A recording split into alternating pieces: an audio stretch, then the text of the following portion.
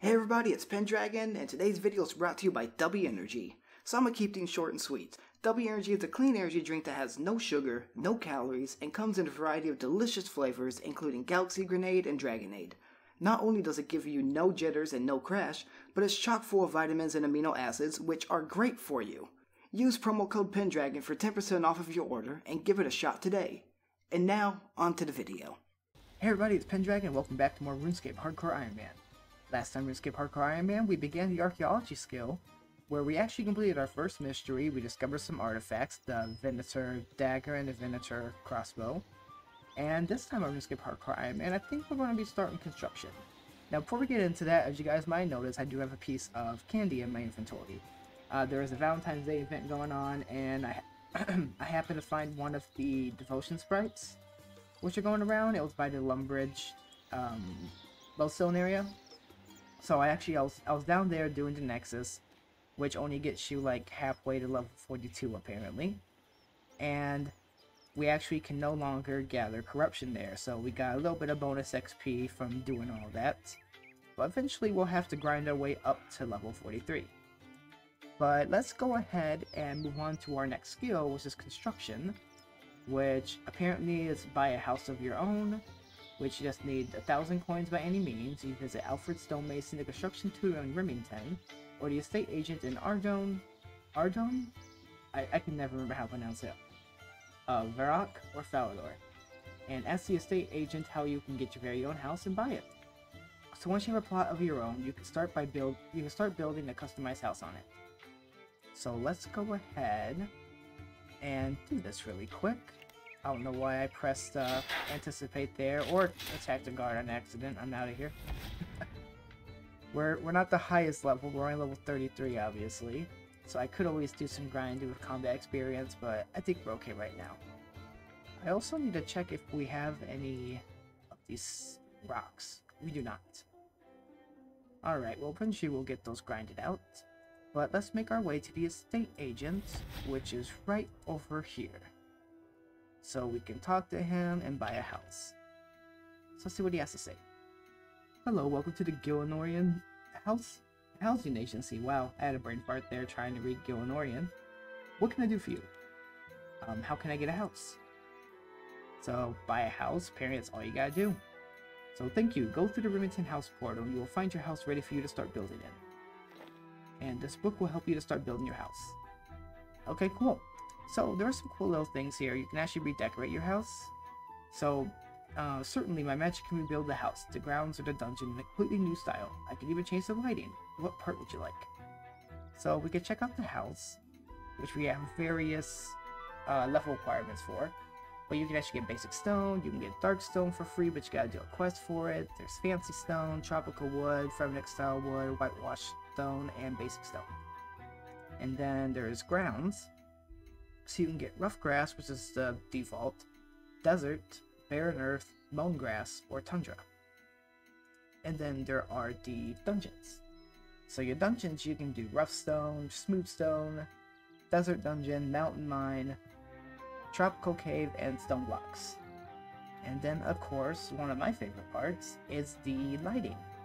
So you can actually go daytime, you can go dusk, or you can go night which night requires the highest construction. That's the one that I normally keep my house in. Uh, in old school RuneScape, there's actually a cozy cabin, I believe is what it's called, which is super cool looking, honestly, to me. And a lot of people don't know about it, sadly. Also, uh, this guy right here, Max, is a NPC that actually has all the many skills mastered, and that's where you get your max cape, so whenever you hit 99 every skill. And then there's also the true max cape that exists now, which is over in Falador.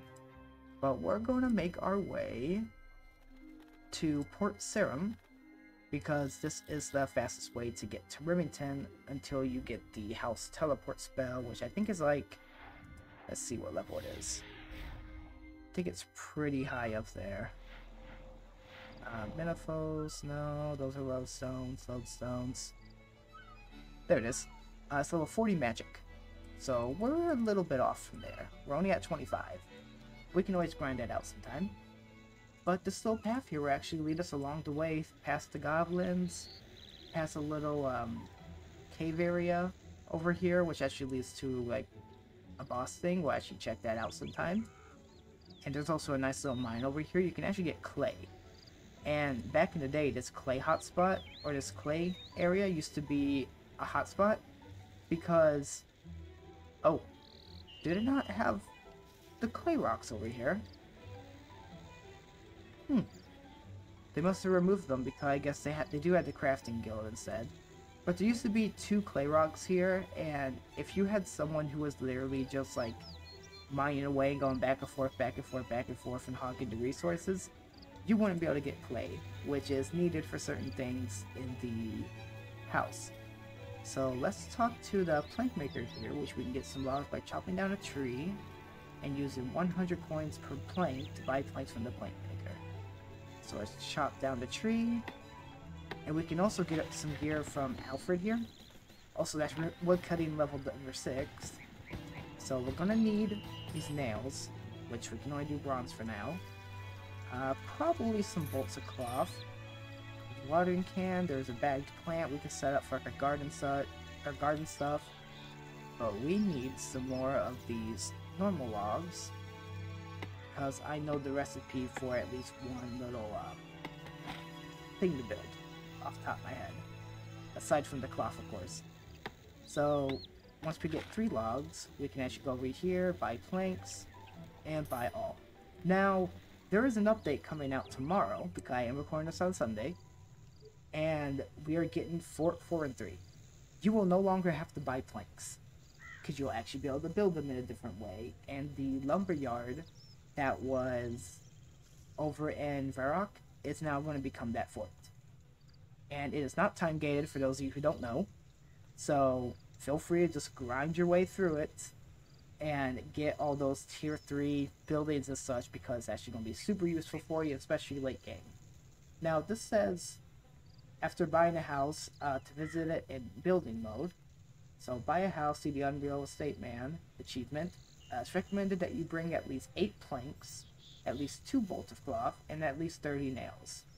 So you visit your house in building mode via the house portal. If your house is in Burthorpe, follow this guidance arrow. Uh, tip, bronze nails can be smithed from a single bronze bar with at least 4 smithing, or purchased along with bolts of cloth from Alfred Stonemason's construction shop. Bring extra, bring extra nails in case some are wasted. So, the thing with construction is that when you're building, you can actually... Did I just grab oak logs? Okay, no. Let's make sure. If you're building, you have a chance to bend nails. And if you bend nails, they get wasted. So that's why I made sure to buy a hundred bronze nails, just in case we get super unlucky. So let's see, we got one, two, three, four, five, six. We need two more of these logs here and then one more to get this plank. And then you can buy all the planks. You can also get sawdust, which I think is needed for a quest, if I recall correctly. But buy planks, buy all. And there we go. We also got a wood knot here. I didn't even notice. So, free crafting experience. And let's enter house building mode. And you get a new song called Home Sweet Home. Now, I kind of like the classic feel of this you know, it's textured differently, of course, nowadays, but this was kind of a forgotten. Also, oh my god, what is wrong with my armor? I am seeing just dots. Uh, let's ignore that. But, um, yeah, graphics are fun. The player-owned house is something that's kind of been forgotten in new school RuneScape, or RuneScape 3 as you want to call it. And not much has changed since back in like the RuneScape 2 days, quote unquote. Now, old school RuneScape actually has some new rooms, there's some new items, there's a construction guild, all this other stuff. This was kind of forgotten because house parties were kind of just forgotten because you used to be able to go like gilded altars to make a bunch of uh, prayer experience and socialize and all that stuff, and people just stopped doing it except for the hostos um, prayer hotspots now. But now with Fort Forinthry, there's also going to be a change with bats because you can actually get a similar experience from the altars. Now I know it's not the same, like I think twice as much experience, something like that. I think it's like one and a half times or something, but you have a chance to not use up bones. or to use your full inventory, I think, actually. It's one of those two. I don't remember off the top of my head. I watched the live stream a while ago. But anywho, let's go ahead and start building. So you can build just by clicking on the hotspot, as they call them here, and then you get construction experience for doing it. So we're level 4 construction now, and as you can see in the chat, we accidentally bent the nail. So that thing normally costs 2 planks and 2 nails. It costs us 3 because we bent the nail. So now let's just build all these crude wooden chairs, and I'll probably like work on my house during the uh, in between parts of videos because I kind of like working with the player owned house. You know, it gives me a sense of accomplishment to have that sort of uh, upgraded house and everything, and to be able to have it kind of like how I used to back in the day with um, construction, and also that's level 5 construction already. So we unlocked the kitchen, so now we can actually get into this part as well. So you can actually build on the door hotspot, you can add another parlor, you can add a garden or a kitchen. Now, let me make sure I have this angled the right way. I like to put my kitchen on like one of the corners kind of thing. So I think I'm just going to build my kitchen actually right here. Yeah, I think that'll actually be perfect. And it costs 5000 to make a kitchen. And then of course you can actually build tables, you can build stoves, and you can actually train cooking in here. Which I find it pretty enjoyable. But let's see, we have two logs left. We build? No, we don't have enough place for the bookcase. Let's go ahead and build this rug then, I suppose. At least have this kind of crappy brown rug for now. And yeah, I think that's going to be about it for our construction then, I guess. Right click furniture you built in your house, set a crude wooden chair in your parlor, choose to remove. Oh yeah, they get they teach you how to do furniture removal. So right click, click remove, you can put yes, yes, and don't ask me again or no. I like to just do the regular yes because, you know, there are times where I might accidentally click something and remove something that could have been expensive. Because sometimes construction materials get pretty expensive. So now for home and garden, they want us to build a plant in the garden of your house. So we buy a bagged plant and the watering can, of course, and then we can right click on one of these plant spaces and actually plant the plants. Or um, there's also tree spaces as well, because we need to get a bagged dead tree.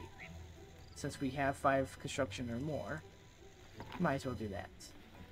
So I'm actually going to get the bagged plant, dead tree, and the watering can. And the watering can is only 1 GP for a full watering can, which is pretty awesome. But let's head on back in. And now let's go ahead and plant some of these. So I'm going to plant the bagged plant there. And we get 10 points for doing the construction path. And now for the big tree space, I'm going to plant one of the bagged dead trees. And you actually get farming experience for doing this too. So now we're level 2 farming. We can actually plant flowers now, which are marigolds. And um, another cool thing about construction, if I exit building mode here, you can have people over there are doors, of course. And depending upon how you have your place set up or positioned, there's different ways to travel around, to explore, and yeah, so on and so forth. So the bookcases you can make actually can hold lore books from like quests and such, which you'll be able to tell if you can get it from your player-owned house books. If it says when you right-click and destroy it, that you can obtain another one from your player-owned house bookcase. Now, I like having those because I like lore. And yeah, it's a pretty fun time. So we can go ahead and try to train some more construction later on. But I think we're not going to do that right now. We're going to actually move on to another thing. So this is actually showing quite a few paths. We got the bossing path we can take. But we do not have Protect from Melee yet, which would be for our first boss known as the Giant Mole. So instead, I'm going to start grinding out some more quests if I don't lose my voice in middle well, I'm going to be grinding out some more quests. So let's go ahead and open Rune Memories. And let's go ahead and do this one. So in 2012, this quest replaced 2003's Rune Mysteries. So the old Rune Mysteries was one thing, and now this is the new version, like 100% new version. And over here, there's clan stuff for like a clan citadel and such. Um, I might start my own clan in this, or I might join my main's clan. Well, I'm an admin in one of this, not, I don't own the clan, of course. But I'm gonna go ahead and store some things so that we actually have our inventory space opened. Um, actually, I might as well turn in these artifacts real quick. So let me go ahead and teleport to the Archaeology Guild. And then I can show you where Soren, the Emissary of Zaros, is. So let's go ahead and make our way across. And it's not super hard to get to. You literally just gotta head west from the Archaeology Guild. Um, a little bit north makes it a little easier. Also, I'm so used to having Double Surge, which is unlockable as I've said before. So it's weird not having it. And yeah, our armor is still textured weird on my screen. I might need to like change my settings or something. Let me do that real quick. Uh, let's just go to high. Did that fix it? Oh, are we lagging? A little bit? Nope, we're fine. Think it was just still loading everything. Okay, that fixed it. Good. And hopefully this doesn't affect the quality too much. I like to play on high, higher qualities, kind of like the graphics and such. But if high is what we have to do, then high is what we have to do. So let's keep on heading west. And there he is. This is Soren, the emissary of Zaros. And you can talk to him about joining his cause, you can check his jobs, or you can just go to the archaeology collection, which is what we're going to do. So you can click contribute all, and you get some chronotes, and you also get, uh, as you can see on the actual collection thing, let me reopen it real quick. You can actually get a seal of the Prefectus Praetorial, which I think is like the perfect prefect or something like that, or perfect prophet. I don't remember the exact translation from Latin, but you get the unexpected diplomacy relic power. And then, of course, the second one, the third one, the fourth one give you different things. The Inquisitor staff piece is going to be something super important that we get, but that's super late game. So now, let's go ahead and get started on Rune Memories. So we have to talk to Ariane in the ruins beneath the Wizard's Tower, south of Draynor Village. So I will meet you guys there shortly. And here we are back at the Wizard's Tower.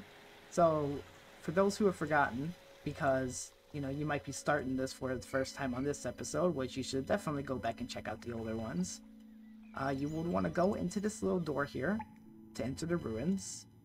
Make your way past the Rune Guardian here, who is blocking the door for some reason.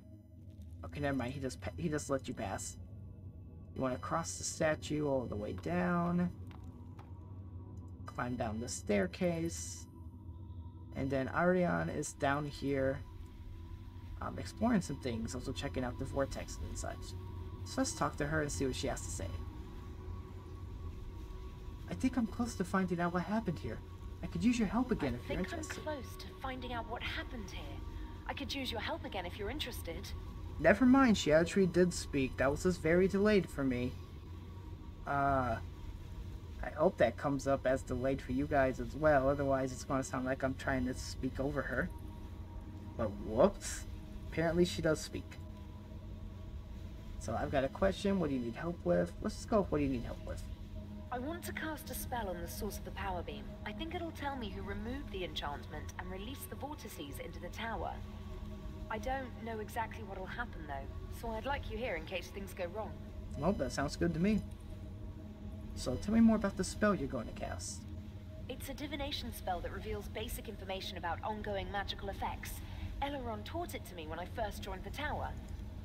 I've barely used it since training, but it occurred to me that it might... It's Oops. not normally used on effects this powerful, though, which is why I'd like you here. My finger slipped, I accidentally skipped that. but I'd be happy to help. So apparently it's something with Wizard Elrond, and then there's a magical spell she's trying to do to discover why the Vort- Vortices is still here. So the only requirements are 14 free inventory spaces, no combat, and it's a long quest, so let's accept it. Okay, Let's see. Abac Distine Cal Mentor. Ah, oh dear. Uh, that doesn't sound good. I must have miscast the spell. I can't seem to move. Uh, I think I'm stuck in the power beam. Are you alright? Yes, I'm not hurt. And I don't think I'm in immediate danger. I just can't move. that was careless of you. No, how can I get you out? I think I'll be released if you can disrupt the source of the power beam. Actually, I've already got an idea about how you could do that. If we were to recreate the ritual that created the power beam, that would disrupt it and release me. Makes sense to me. Are you sure that would work? No. It's worth a try though, isn't it? If it doesn't work, we can try something else. Uh, maybe I should go and get help. I'd rather you didn't. No one's meant to know we're down here, remember? No, that's right.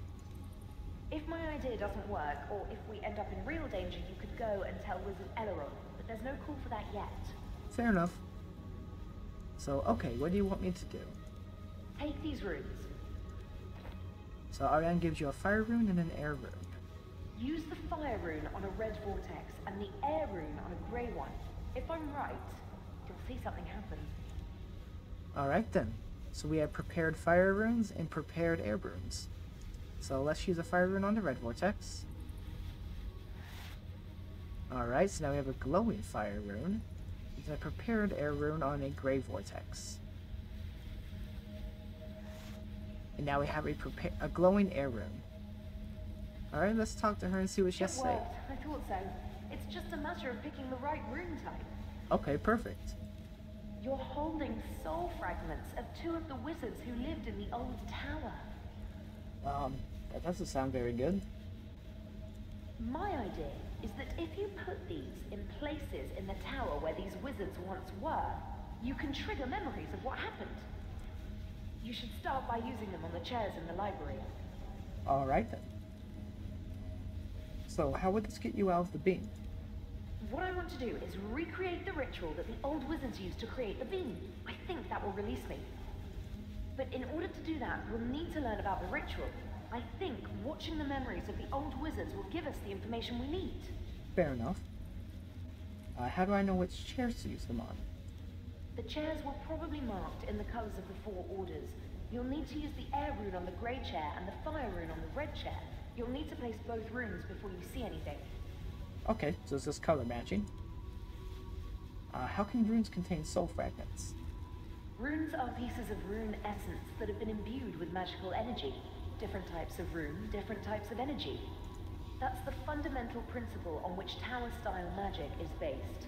By manipulating runes, we're combining the different types of energy to create magical effects. The old wizards would have used the same type of energy to create the power beam. Something went wrong, and the energy ended up imprinted with fragments of their souls. So, if magical energy is stored in runes and the soul fragments are made of magical energy, I reasoned that the soul fragments could be stored in runes. Once I'd figured that out, it was just a case of preparing the runes to store some more energy and finding the right type of rune for each soul fragment. That makes sense to me. So, okay, I'll do that now. So let's go ahead and make our way into the library. As we hurry on along, I don't think you can surge in here, sadly. But let's see. So there's a gray chair, a red chair, green chair, and a blue chair. So air on gray, and fire on red. What Zanmaron got you working on now? Enemies of the Order must taste the flames of our wrath. I thought your order perfected attack spells decades ago. Isn't Surge the theoretical maximum? It's not about power. I'm looking at ways to make the spells bypass defenses. Can't be done. Ozakan proved you've got to have line of effect. I know. It's one of Zanmaron's impossible problems. I meant to try to solve it to learn why it can't be solved. That's what I can't work out. I can't see what's wrong with my solution. Let me see. May? You're bypassing line of effect by angling the spell through a secondary plane using runes of law. I mean, it's not a complete solution, but the principle is... Do you know what you've got here? What do you mean? I think you might have solved the teleportation problem. That's not funny, May. I'm serious. We should show this to Azris. She spent years trying to crack the problem. She's written volumes on why it can't be done. If this is an elementary mistake, she'll have seen it before. And what if it's not an elementary mistake? Then she'll take it to the council, and you, my friend, will have a major school of magic named after you. The runes return to your inventory as the memory finishes. That's pretty neat. Apparently, that's how we discovered how to use teleportation magic in this game. Apparently, it was due to some sort of research that was done on law runes, of course, which are runes that are actually used for teleportation spells. So let's go ahead and report back to Ariane with our knowledge. Did it work? Have you managed to trigger a memory? I saw them talking about the teleportation problem. Amazing. I wish I could have seen it. That could have been the start of the breakthrough that led them to creating the power beam. I think we're on the right track. So what was the teleportation problem? Most of the spells in the standard spellbook date back to the old tower. Combat spells were mostly created by red wizards, enchantment spells by blue wizards, and so forth. The only major exception are the teleport spells. The old wizards knew teleportation was possible, but they didn't learn how to create new spells until the last days of the old tower. Solving the teleportation problem changed everything. It let the wizards create the Lodestone Network, and the Rune Essence teleport spell meant the tower didn't have to rely on the delicate land route to get runes. I've prepared runes to hold the other six soul fragments. You'll need to use each rune on a vortex of the appropriate color. So Ariane gives you some more prepared runes. So now we have cosmic, chaos, nature, law, earth, water, air, and fire. So based upon the colors on the outside alone, we can probably match up that chaos is going to be for fire, nature is going to be with earth, cosmic is going to be with um, air, and law is going to be with water. So let's go ahead and try that. If I recall correctly, I believe it's also based upon like which vortex is moving more. And I think that tells you which one's like the one you need to use one of these kind of runes are runes on. So let's find out. So I think this one's going faster than the other green ones. Let's try nature. Okay, so that one was trapped, so that one actually worked. Let's try on this one. Alright, we got that. Uh, Chaos, let's try on the... Obviously the only other red one here. And then for blue... Looks like this one that has like the little white circles with it. I think that one's like the advanced one, it seems like. And then this one. And finally this other gray one. Perfect. So let's talk to Ariane again and see what she has to have us do. That's all of them. You should be able to use those runes to trigger the rest of the memories. The leaders of the four orders use the shrine room to hold meetings. That's the room upstairs with the statues representing the four orders. If you use the runes containing the soul fragments of the four masters in front of the statues of their orders, I think you should be able to trigger a memory. Alright, so which runes should I use on which statue? The law, nature, chaos, and cosmic runes contain the soul fragments of the masters of the four orders. You'll need to place each rune in front of the statue representing that master's order. The orders were associated with different elements. Blue wizards with water, green with earth, red with fire, and grey with air. If you examine the statues, you should be able to see those elements. Okay, I'll do that now. I don't really have any other questions, and this sounds pretty straightforward, so let's go ahead and climb up the staircase and reveal the memories of the leaders of the tower. But we actually have to make our way all the way back up to the area here. All the way past this door. And here we are. So let's see, there's a statue here. Okay, that one's holding flame, so that one must be the chaos one. There we go. And that one's the Saradominus holding water, so that must be law. There we go. This one is just holding a regular stack of runes. And also a stone in one hand, so that's earth, so that must be nature. And that leaves only one left, cosmic.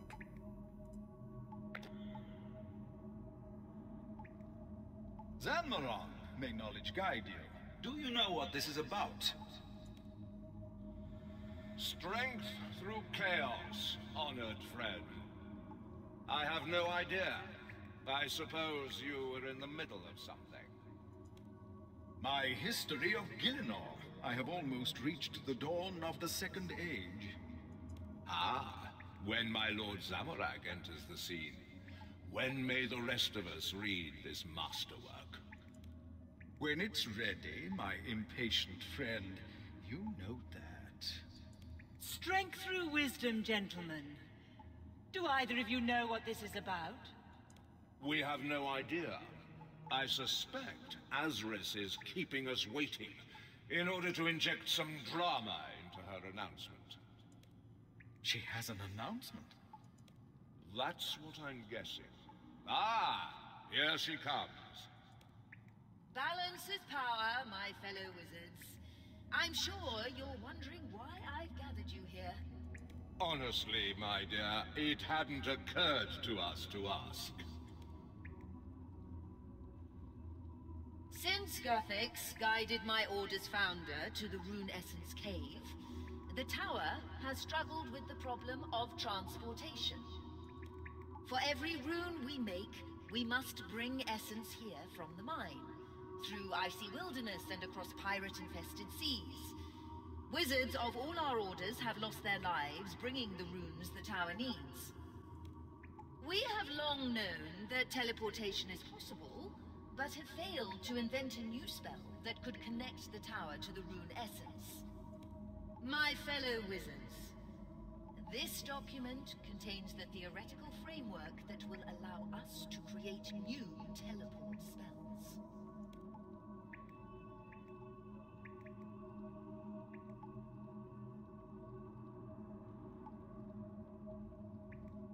Azris, this is amazing. If this is true, Temelin, would it work? Hmm, yes, I believe it would. It solves both the distance and line of effect problems by routing the movement through a second plane. Of course, we'll need to find an appropriate plane to use. All I have is the seed. I will need each of your help in developing it into a ritual. No one of our orders can do this alone. Even so, what you've shown us here is a major breakthrough that deserves recognition. Whose work is this? It is my own. After a lifetime of searching, Guthix saw fit to grant me the necessary inspiration. You are too modest, Azris. The gods may inspire us, but the work is our own. Indeed. And there is more work to be done. We should all study this properly and then reconvene. I will be in my study with my apprentice. Strength through chaos, my fellow wizards. The runes return to your inventory as the memory finishes. So that's some pretty useful information. Apparently the four leaders of the orders actually worked together to try and solve the teleportation problem that was going on. But sadly, we seem to be just out of time for this episode. So next time on RuneScape Hardcore Iron Man, we'll head back to Ariane and we'll see just what she has in store for us in regards to even more of the rune memories. This has been Pendragon, and I'll see you guys next time.